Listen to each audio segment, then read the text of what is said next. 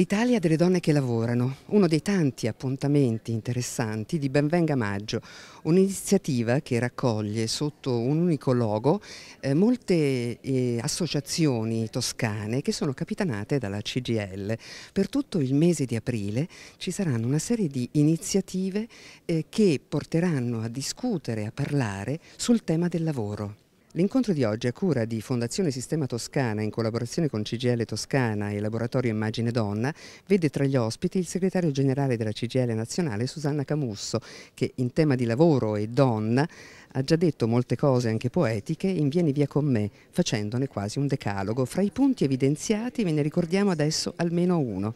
Felice il giorno in cui non dovrò conquistare niente di più. Staranno meglio anche gli uomini. Si parla del lavoro e delle donne, che forse nel precariato sono quelle che raccolgono maggior numero. Ma io penso che le donne in questo momento sono quelle che pagano il prezzo più alto alla crisi, perché in questo paese c'è una disoccupazione che cresce, ma cresce più per le donne. Ci sono più licenziamenti sono più le donne licenziate. Ci sono minori stipendi le donne guadagnano meno. E ci sono tagli al welfare che soprattutto pagano le donne, perché se manca un tempo pieno c'è una madre che si deve far carico di questa situazione. E credo che questa sia anche la ragione per la quale le donne oggi le sono al centro di tante tensioni, di tante iniziative, come forse non è mai stato. Quindi più politiche per le donne e più donne nella politica? Io penso che il ruolo del genere delle donne sia decisivo, d'altra parte la manifestazione del 13 febbraio ci ha detto di una forza prerompente che non possiamo né sottovalutare né non vedere. La donna è capace di reinventarsi e di reinventare anche il proprio lavoro, l'attività. Certo questo governo non agevola. Esatto, tutte le politiche che questo governo ha fatto da quando si è insediato Basta pensare che la prima cosa che ha fatto ha tolto diciamo, l'unica legge dimissioni, delle dimissioni in bianco che era una legge mirata proprio alla condizione del lavoro delle donne perché purtroppo le donne vengono assunte, firmate le dimissioni in bianco perché poi rimangono incinta, servirebbero politiche che agevolano anche la donna in realtà questo che ho appena citato, le politiche che riguardano la scuola, il fatto che non è stato rifinanziato il fondo per la non autosufficienza per gli anziani, tutte queste cose costringono una donna ancora una volta voglio dire, a rimanere tra le mura domestiche magari e avere grandi difficoltà anche ad inventarsi perché insomma le donne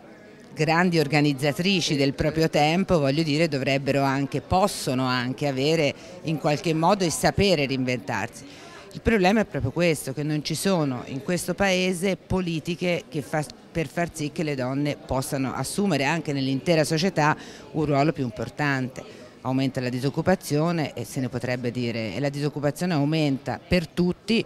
ma in modo molto forte per le donne. Il 13 febbraio nelle piazze d'Italia c'è stata una straordinaria partecipazione di donne e anche di uomini in realtà, non solo, non solo di donne. Eh, diciamo così,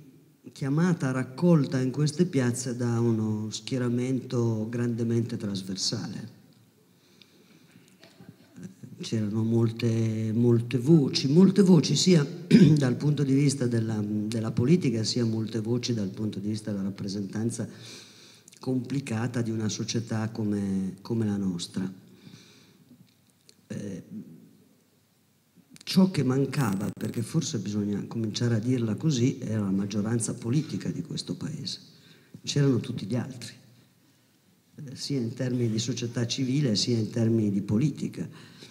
E non, io credo che non sia tanto strano che non ci fossero, perché sono anche all'origine di, di quella, protesta e della necessità di cambiare, di cambiare registro, perché quelle piazze hanno raccolto attraverso alcune parole d'ordine, alcune esigenze, sostanzialmente l'idea che questo paese, le donne di questo paese, molti uomini di questo paese non sono disposti a farsi rappresentare in questa telenovela di cattivo gusto, come abbiamo detto in più occasioni in quel giorno, che sembra diventato il governo e la rappresentazione del nostro paese. Eh, poi quelle piazze però avevano due riflessioni che credo continuino a esistere in tutti i 13, visto che qui facciamo tutti gli otto, li possiamo riproporre tutti i 13. Eh, una è quella che la dignità delle donne non è tema a disposizione di nessuno e che chiunque la violi così come è stata ampiamente violata nei messaggi dati da questo governo non ha liceità di farlo, non ha diritto e possibilità di farlo. Ma l'altra grande parola d'ordine che eh, c'era in quelle piazze è che dignità è connessa alla possibilità di decidere per sé, di decidere se lavorare, come lavorare, quanto lavorare, di, di lavorare in una condizione eh, di tranquillità e di stabilità. Per quel che riguardava le giovani donne in particolare,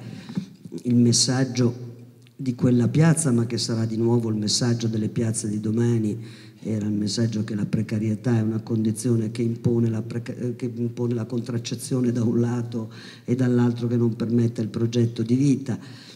E direi che per collegarlo alle tante cose che si dicono in questo periodo, quella era una piazza che dice ci può essere un futuro migliore di quello che ci viene prospettato da questa situazione. Eh, basta pigliare le statistiche che fa regolarmente Alma Laurea del comportamento delle laureate e del paragone tra le laureate femmine e le laureate maschi, se si pigliano le laureate hanno mediamente voti più alti, tempi più brevi per la laurea, prese a un anno di distanza dalla laurea, hanno già una condizione di discriminazione salariale rispetto ai loro colleghi, ai loro colleghi uomini. Quindi è evidente che c'è ancora un pregiudizio. Eh, così come se noi pigliamo le dinamiche di carriera, non nei luoghi dove c'è il 90% di uomini e il 10% di femmine, ma se pigliamo la pubblica amministrazione che è in gran parte mh, composta da lavoratrici più che eh, da lavoratori, eh, la base della piramide è ampiamente femminile e mentre si sale al vertice scompare, mh, scompare un genere. Abbiamo fatto recentemente una discussione, non me ne voglia la Presidente, una discussione sulla presenza del 30% di donne nei consigli di amministrazione, ho sentito un florilegio di affermazioni sul perché non si potrebbe fare che alla fine nascondono un pregiudizio, cioè che non ci siano donne che hanno le competenze, mi domando se questi uomini ce li hanno sempre, perché c'è un dato, dato per scontato che, che non corrisponde. Eh, però credo che sarebbe utile capire da dove deriva questo pregiudizio e quali comportamenti continuano a far sì che ci sia questo pregiudizio. Culturalmente questo Paese non ha ancora digerito il fatto che non ci sono dei ruoli prefissati e che vanno mantenuti, per cui l'uomo sta al lavoro sulla scena pubblica e nell'universo mondo e le donne devono stare a casa ad accudire la casa, accudire i bambini, eh, fare tutte queste cose qui e se proprio vogliono lavorare lo facciano per integrare il reddito della famiglia e non perché possono esprimere un autonomo progetto di lavoro. Questo è il pregiudizio che sostanzialmente c'è e quindi tutto il sistema di misurazione, eh, l'idea su cui si costruiscono le carriere, le retribuzioni, parte da questo pregiudizio. Poi ovviamente, eh, siccome questa teoria non regge, eh, cominciano a esserci gli evidenti casi in cui tutto questo non funziona. Eh, Confindustria comincia, ha cominciato eh, da una presidente nazionale e ha una serie di presidenti nel, nelle regioni, qualcuno si affaccia anche nelle altre associazioni imprenditoriali, diciamo così, un po' meno visibilmente,